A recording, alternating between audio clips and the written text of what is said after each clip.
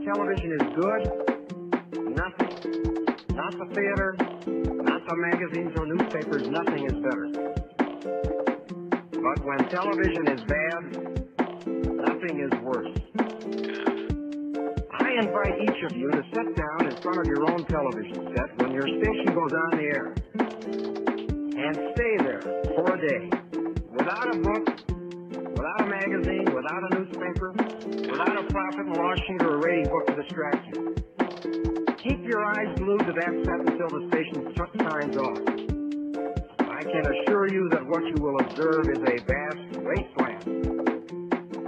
You will see a procession of game shows, formula comedies about totally unbelievable families, blood and thunder, mayhem, violence, sadism, murder, western bad men, western good men, private eyes, gangsters, more violence and cartoons. And endlessly commercials, many screaming, cajoling, and offending. And most of all, boredom. True, you'll see a few things you will enjoy, but they will be very, very few. And if you think I exaggerate, I only ask you to try it. Is there one person in this room who claims that broadcasting can't do better? Well, a glance at next season's proposed programming can give us a little heart. 73 and a half hours of prime evening time, the networks have tentatively scheduled 59 hours of categories of action, adventure, situation, comedy, variety, quiz, and movies. Is there one network president in this room who claims he can't do better? Is there at least one network president who believes that the other networks can do better? Gentlemen, your trust accounting with your beneficiaries is long overdue. Never have so few owed so much to so many.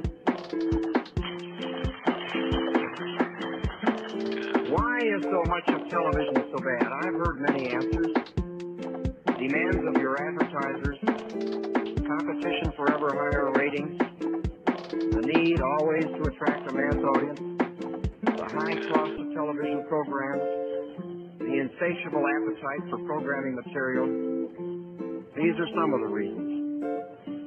Unquestionably, these are tough problems, not susceptible to easy answers. But I am not convinced that you have tried hard enough to solve them. That you have tried hard enough to solve them.